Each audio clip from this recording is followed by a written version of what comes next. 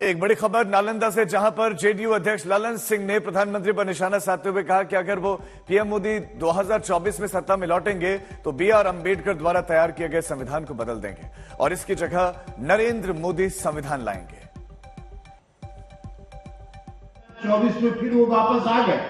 तो आप एक बार जान लीजिए पुराना डॉक्टर भीमराव अंबेडकर और जो संविधान सभा की बनाया का बनाया हुआ जो संविधान है, उसको बदल कर नरेंद्र मोदी संविधान को करने वाला इसलिए खतरनाक है।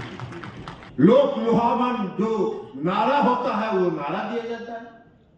भाई 2014 में आप तो बताना चाहिए ना इस देश के आदरणीय प्रधानमंत्री जी को कि 9 साल 2014 से 2023 नौ साल हो गया, इस नौ साल में इस देश में क्या क्या काम आपने किया है? यह तो बताना चाहिए उनको।